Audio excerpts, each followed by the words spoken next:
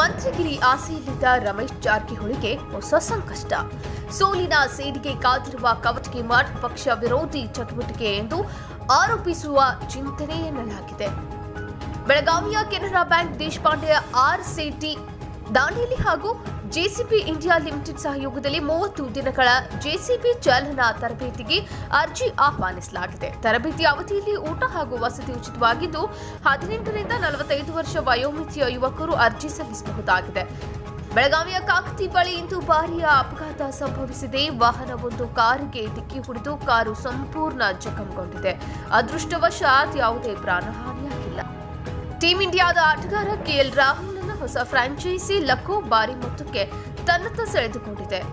ಹದಿನೇಳು ಕೋಟಿ ರೂಪಾಯಿಗೆ ತನ್ನ ತಂಡಕ್ಕೆ ಸೇರಿಸಿಕೊಂಡಿದೆ. ಪೊಲೀಸ್ ಕಾನ್ಸ್ಟೇಬಲ್ ಮತ್ತು ಸೈನಿಕ ಆಕಾಂಕ್ಷಿಗಳಿಗೆ ಸತೀಶ್ ಜಾರಕಿಹೊಳಿ ಫೌಂಡೇಶನ್ ವತಿಯಿಂದ ಉಚಿತ ತರಬೇತಿ.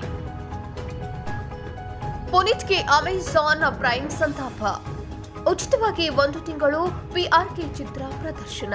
ಪುನೀತ್ ರಾಜ್ಕುಮಾರ್ ಅವರ ಐದು ಪ್ರಮುಖ ಚಿತ್ರಗಳನ್ನು ಅಮೆಜಾನ್ ಪ್ರೈಮ್ನಲ್ಲಿ ಉಚಿತವಾಗಿ ಬಿಡುಗಡೆ ಮಾಡಲಿದ್ದೇವೆ ಎಂದು ಘೋಷಿಸಿದ್ದಾರೆ. ಹೆಚ್ಚಿನ ಸುದ್ದಿಗಳಿಗಾಗಿ ಟಿವಿ ಟ್ವೆಂಟಿ ಫೋರ್ ಅನ್ನ ಸಬ್ಸ್ಕ್ರೈಬ್ ಮಾಡಿ ಮತ್ತು ಪಕ್ಕದಲ್ಲಿರುವ ಬೆಲ್ ಬಟನ್ ಅನ್ನ ಕ್ಲಿಕ್ ಮಾಡಿ. ನಾವು ಮಾಡುವ ಎಲ್ಲಾ ಸುದ್ದಿಗಳು ನೇರವಾಗಿ ನಿಮ್ಮ ಮೊಬೈಲ್ಗೆ ಬರುತ್ತೆ.